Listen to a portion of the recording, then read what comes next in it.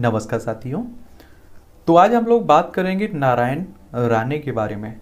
और मुझे लगता है कि आप सभी लोग जानते हैं कि जब महाराष्ट्र की राजनीति की बात होती है तो एक तरह से प्रसिद्ध नेता माने जाते हैं कौन? नारायण राणे।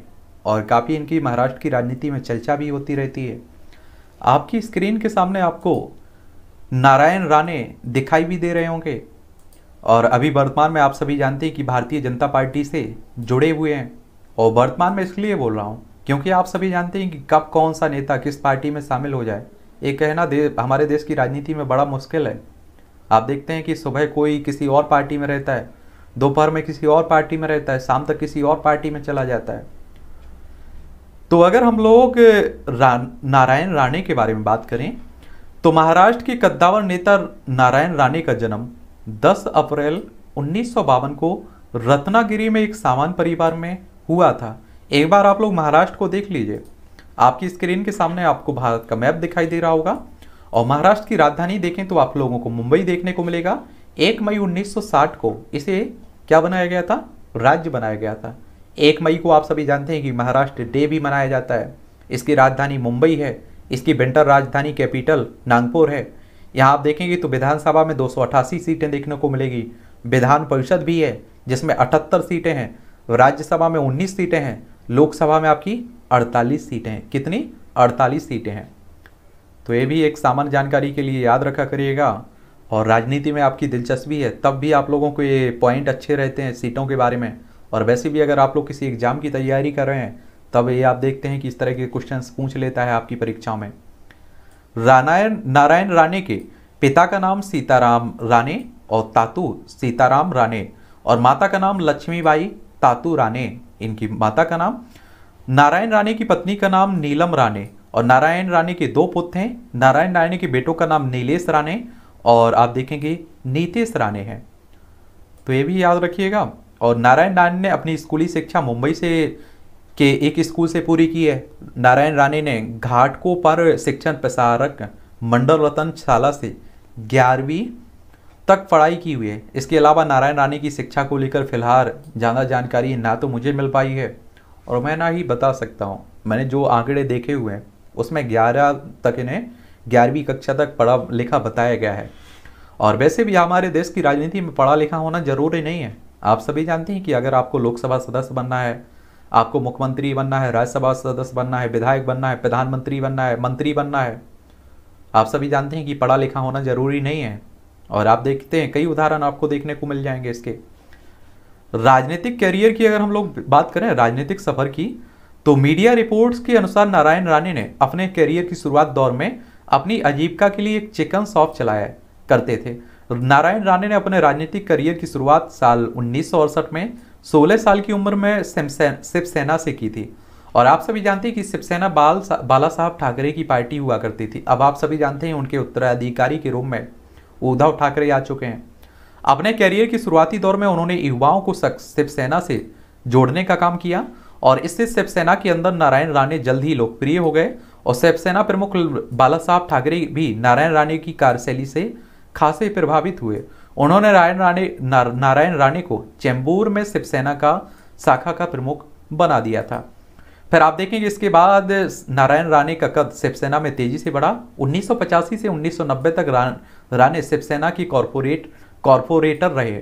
साल 1990 में शिवसेना ने विधानसभा चुनाव में नारायण राणे को टिकट दिया और नारायण राणे ने चुनाव जीतकर उसे सही साबित किया। और आप सभी जानते हैं कि जब आप लोगों को विधानसभा का चुनाव लड़ना होता है तो आपकी उम्र कम से कम 25 साल होनी चाहिए और विधायक का चुनाव डायरेक्ट जनता के द्वारा होता है। आपकी उम्र भी 18 साल हो चुकी है। तो आप लोग भी वोट डालने जाते होंगे।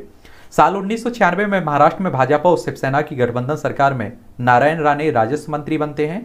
साल उन्नीस सौ निन्यानवे में जब मनोहर जोशी महाराष्ट्र के मुख्यमंत्री बने, पद से हटे तो बाला साहब ठाकरे ने अपने भरोसेमंद नारायण राणे को महाराष्ट्र का मुख्यमंत्री बना दिया था। तो ये महाराष्ट्र के मुख्यमंत्री भी रहे हैं। नारायण राणे ने करीब नौ महीने तक महाराष्ट्र के मुख्यमंत्री पद का संभाला। हालाँकि इस दौरान नारायण नारायण राणे और बाला साहब ठाकरे के बेटे उद्धव ठाकरे के बीच खींचातान होने लगी खींचतान। अगले विधानसभा चुनाव में जब भाजपा और शिवसेना के गठबंधन को हार मिली तो नारायण राणे विपक्ष के नेता बन गए और इस बीच नारायण राणे और उद्धव ठाकरे, जो बाला साहब ठाकरे के बेटे हैं, के बीच खींचतान बढ़ने लगी और इसी बीच जब बाला साहब ठाकरे ने उद्धव ठाकरे को शिवसेना का कार्यकारी अध्यक्ष बनाया तो नारायण राणे नाराज़ हो गए और नारायण राणे ने उद्धव की प्रशासनिक योग्यता और नेतृत्व क्षमता पर सवाल उठा दिए, जिसके बाद 2005 में शिवसेना ने नारायण राणे को पार्टी से बाहर कर दिया। एक बात और आपको बता दूँ, शायद लोगों को ये मालूम नहीं रहता है कि आप सभी जानते हैं कि कोई भी पार्टी हो, राजनीतिक उत्तराधिकारी की बात कर लीजिए या किसी और तरह की विरासत की बात कर लीजिए, पिता के बाद हमेशा पुत्र ही उसका विरासत का उत्तराधिकारी होता है। इसे के महाराष्ट्र में आप देख लीजिए। बाला साहब के बाद उद्धव ठाकरे बने। आप देखिए, कांग्रेस परिवार में आप देखिए, मुलायम सिंह परिवार में देखिए, लालू प्रसाद परिवार में देखिए, शरद परिवार में देखिए आप लोग। लेकिन क्या रहते हैं कि लोग समझने लगते हैं कि हम पार्टी में हमारा कद बन गया। ऐसा कुछ नहीं है। उनका बेटा नालायक हो, लायक हो, इससे कोई मतलब नहीं रहता है। शिवसेना से निकाले जाने के बाद नारायण राणे कांग्रेस पार्टी में शामिल हो जाते हैं। और कांग्रेस से नारायण राणे को महाराष्ट्र सरकार में रेवेन्यू मंत्री बनाया गया। साल 2008 में मुंबई में हुए आतंकी हमले के बाद जब बिला विलास राव देशमुख ने मुख्यमंत्री पद से इस्तीफा दिया तो कांग्रेस ने अशोक चौहान को मुख्यमंत्री बना दिया। इससे नारायण राणे नाराज़ हो गए, उन्होंने बयानबाजी शुरू कर दी और ऐसे में कांग्रेस ने नारायण राणे को छह साल की निलंबित कर दिया। हालाँकि बाद में नारायण राणे ने कांग्रेस अध्यक्ष सोनिया गांधी से माफ़ी मांगी तो उन पर लगा निलंबन हटा लिया गया। और उन्हें महाराष्ट्र सरकार में इंडस्ट्री मंत्रालय का कार्यभार सौंपा गया। साल 2017 में आप देखेंगे नारायण रानी ने कांग्रेस पार्टी से इस्तीफा दे दिया और खुद की पार्टी बनाई, जिसका नाम महाराष्ट्र स्वाभिमान पक्ष रखा गया था। साल 2018 में नारायण रानी ने अपनी पार्टी का समर्थन भाजपा को देने का ऐलान किया था। इस बीच नारायण राणे की भाजपा से नजदीकियाँ बढ़ती चली गईं। साल 2019 में नारायण नारायण राणे आधिकारिक रूप से भाजपा पार्टी में शामिल हो गए। और उसके साथ ही आप देखेंगे नारायण राणे ने अपनी पार्टी महाराष्ट्र स्वाभिमान पक्ष का भाजपा में विलय कर दिया और भाजपा में आने के बाद प्रधानमंत्री नरेंद्र मोदी ने नारायण राणे को अपनी सरकार में शामिल किया और साल 2021 में नरेंद्र मोदी ने नारायण राणे को एम एस एम ई मंत्रालय दिया, यानी कि इन्हें मंत्री बनाया गया। नारायण राणे से जुड़े हुए कुछ विवाद भी हैं, इन्हें भी देख लीजिए। नारायण राणे अक्सर अपने बयानों को लेकर सुर्खियों में रहते हैं। साल 2021 में नारायण राणे ने महाराष्ट्र के मुख्यमंत्री उद्धव ठाकरे की आलोचना करती हुए उन्हें थप्पड़ तक मारने की बात कह डाली थी और रानी के इस बयान के बाद उन पर एफआईआर दर्ज कर दी गई थी। और इसके बाद अलावा शिवसेना के कार्यकर्ताओं ने कई शहरों में नारायण राणे के खिलाफ प्रदर्शन भी किया था। नारायण राणे ने अपने बयान में कहा था कि ये शर्मनाक है कि मुख्यमंत्री को ये नहीं पता कि हमें आज़ाद हुए कितने साल हो गए। अपने भाषण के दौरान उन्होंने पीछे मुड़कर अपने सहयोगी से पूछा था, अगर मैं वहाँ होता तो उन्हें जोरदार छप, थप्पड़ मारता। और इसके बाद आप देखिए कि इनकी काफ़ी आलोचना भी की गई थी। तो यही कहानी है नारायण राणे की।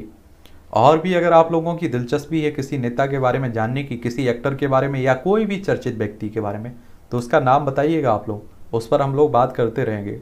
और एक बात और बता दीजिए कि अभी तक हम लोग वर्तमान तक उसकी कर्म कुंडली जो भी रहती है उस पर बात कर लेते हैं।